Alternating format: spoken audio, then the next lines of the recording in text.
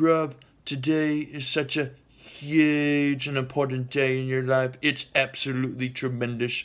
Believe me, I have very, very smart people that tell me that today is absolutely tremendous and everybody knows it.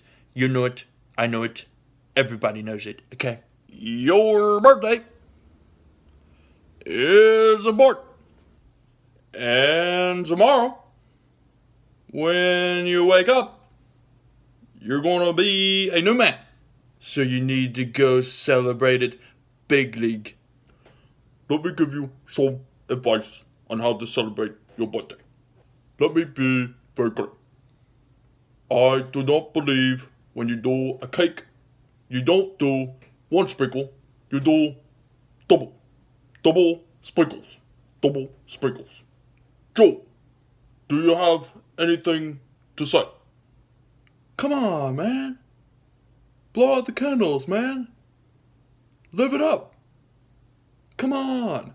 George, do you have anything to say? Well, uh, you know, here in America, in Texas, we believe that uh, when you celebrate, you ought to you ought to have a plan, and you ought to have a plan that's that's good goodified. You know, I think that uh, that's good.